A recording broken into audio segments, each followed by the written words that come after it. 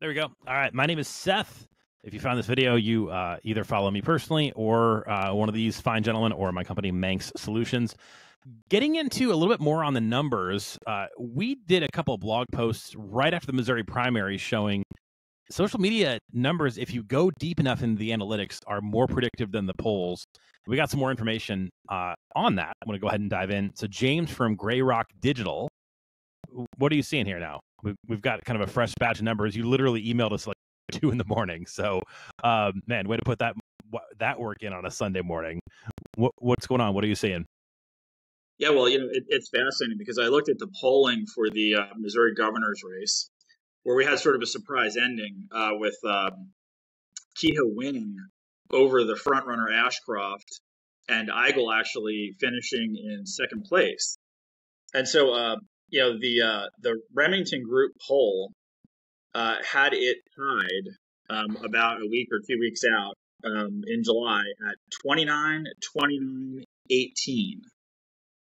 And uh, so that's a, a thousand likely voters they actually did some pretty excellent polling on some of the other down ballot races that they nailed, like Vivek winning treasurer uh, and a couple others. So this isn't about being critical necessarily of individual polls, but um, you have uh, from the Tyson Group, uh, 500 likely voter poll that had it at 29 for Ashcroft, 18 for Kehoe, and then 13 for um, Ashcroft, or, and then uh, yeah, 13 for uh. So, uh, considering that what we actually had was um, uh, Kehoe winning with 39% of the vote over Eigel's 32%, and Ashcroft finishing third uh, at, at 23. That last poll actually had it completely wrong. I mean, it completely reversed the order.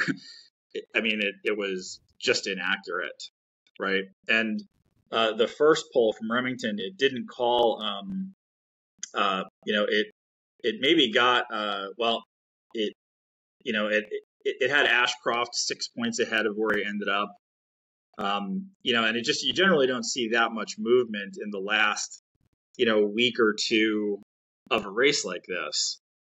Um, and and we'll get to strategy in a minute, but so uh, if you look at their MAC reports for finance, of course you have Kehoe finishing with four million dollars, and I believe he he actually saved a million for the general, so he only spent three, I think, three million over um, Ashcroft's uh, 1.264 million. So uh, you know he got outspent three to one. Really, he got out fundraised, you know, four to one. And uh, but interestingly, Eigel uh, raised almost as much as Ashcroft with 1.5 million total. Uh, and in the final eight-day report, Eigel actually raised more money than both Ashcroft and Kehoe, which is fascinating. And that's what we saw in the social analytics. Um, and if you go to at uh, at greyrock.digital um, and go into, uh, I'll have a link there to this post, which will be um, you know, a, a, pretty deep analysis of the governor's race where um, Ashcroft 60 days out has about 17,000 total mentions, or, or, I should say over 60 days. Um, Kehoe in the same time period has 29,000 mentions, right? And Eigel, like really sort of unbelievable, triples that with 94,000 mentions over the last 60 days of the uh, election. And if you look at the trends um, on content, while uh, Kehoe gets some good hits at the end, uh, Eigel really had the massive hit at the end where he launched his 30 second TV spot. And uh, it, I mean, you could say it went viral. I know we don't like to say that, but it pretty much did. I mean, it, it's a massive mountain of just content talking about uh, the creative in that ad uh, and the fact that a governor you know, of a state is going to deport you know every illegal immigrant that's here and puts the ad up with the uh, you know with, with the uh, the translator um, uh, which was you know as serious as it was sort of humorous you know on a serious topic Um, and that's the biggest digital event of all three campaigns that happened. Um, it's interesting, right around uh, New Year's, Ashcroft had probably his biggest day of digital, where he had a similar um, uh, spike, you know, really like six months before the election, and uh, and like like that's not great, right? Um, and Eigel timed his spike sort of perfectly, but you do have Kehoe winning, even though Eigel uh, trended way ahead in mentions. You definitely have Kehoe still generating enough mentions um, you know, with with thirty thousand, it, it should have been more than that, but thirty thousand in the last sixty days is pretty good, and that grew four hundred and twenty nine percent over the five point five thousand mentions he had in the, you know, looking out three and four months back out, and if we're looking at this from reverse. So, um, you know, quite frankly, the social analytics when we talked about, you know, Eigel potentially being able to win if there's another two, maybe three weeks added to this election cycle, Eigel could have potentially overtaken Kehoe. Now, Kehoe had, uh, if you go back and look at the at the finances, Kehoe had kind of a secret weapon now because he had the four million that he had raised over the course of um, 2024, and he still had most of that in the bank. But he also had what you didn't see was um, about five hundred thousand dollars in the uh, firefighters and cops for Kehoe PACs that were associated with his campaign. And it was particularly it was the police uh, did uh, they spent about four hundred and eleven thousand dollars in that last eight day period on radio ads, direct mail, uh, and you know just supporting that final effort, that final push. So what you can see, I think, is Kehoe really, really executing on his plan. And even if you think of in that last that last push where um, uh, where Eigel had the momentum and, and he raised $191,000 in that last push, and, and he raised more money than Kehoe did. Kehoe had already shut off his fundraising by that point. Like he was done raising the money he needed to raise, um, and looked like again he held back about 1.2 million so confident that he was going to advance into the general election. So, uh, quite a story that, you know, I, I, haven't heard either one of these points mentioned in media about the race, um, you know, other than, you know, the prolific fundraising, but it was very strategic in how it was done. You know, it was well integrated into the campaign strategy. Uh, and it could be counted on to sort of uh, support the social outreach that they did do, which maybe wasn't quite as much as the other campaigns, but was still considerable. Um, and you know, and and sad to say because I'm I'm a big fan of Jay Ashcroft. You know, he was behind in fundraising. You know, almost the entire time. He was behind in uh, mentions in social media. Uh, really behind both uh, both campaigns, both Eigel and Kehoe, like the entire time. So uh, you have a, a, you know kind of a failure to execute a strategy and a plan there. And Kehoe just executed, I think, magnificently, while Eigel very effectively sort of flew by the seat of his pants um, to be able to get you know fairly close uh, within you know six or seven points in the um, in the Missouri governor's primary. So candidates that are still in this thing, and people who are working with those candidates, what do you pull from here? Because what I just heard you say is that there is kind of a sports element here, it, that it's not just that you peak, it's when you peak. So there are 80 some days until uh, until the November election.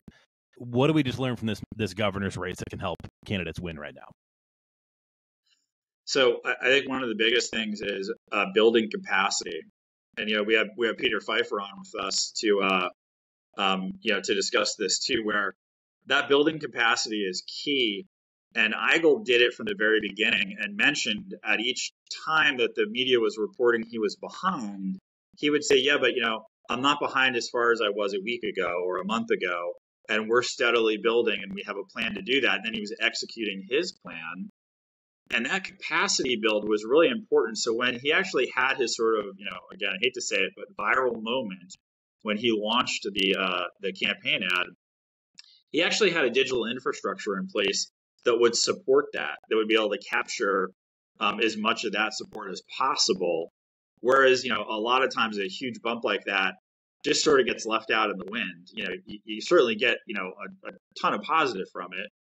But if you don't have capacity built, it's really hard to capture the data and be able to, whether it's reach out to all those folks, um, you know, have the mechanisms in place to uh, to capture you know the benefits of that viral movement, and Eigel did.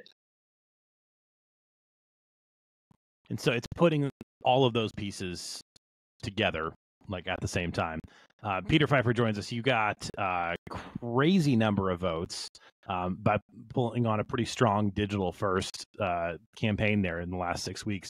Like, what did you see in this? Like, as far as actual real life reactions to people out there, what did you see uh, once you got a lot more video ahead of you on your strategy?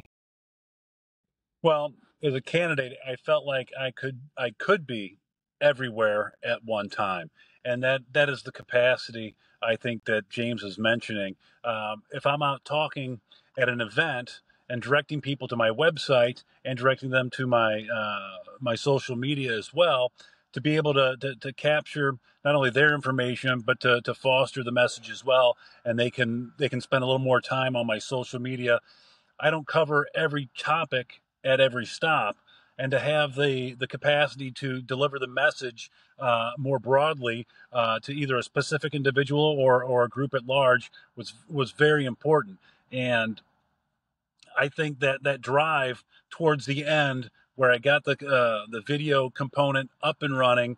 Um, again, I was able to spend you know 20 or 30 minutes per week and deliver a week's worth of content in that 20 to 30 minutes was huge when only a limited amount of time remained in the campaign. So this is really a great time to to invest in the delivery of a message and and make sure that you don't deliver the amount of time it is necessary to get that message out there. That's the magic of the social and the magic that we're talking about right here is to be able to spend 20 or 30 minutes a week and have the message delivered repeatedly, uh, um, often, and consistently across the socials. That's a very important thing that helps carry, um, you know, maybe 20, 25% of the vote total that I got towards the end of this campaign.